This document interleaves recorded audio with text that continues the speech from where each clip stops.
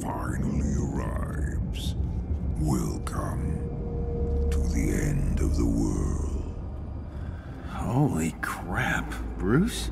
Puny Banner died a long time ago. It's only the Maestro now. Uh-huh. Right.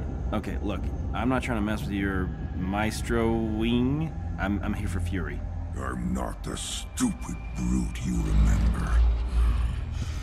I know why you're here. To take away my power. You know why I'm still here. Because I'm the strongest there is! You better appreciate this, Fury!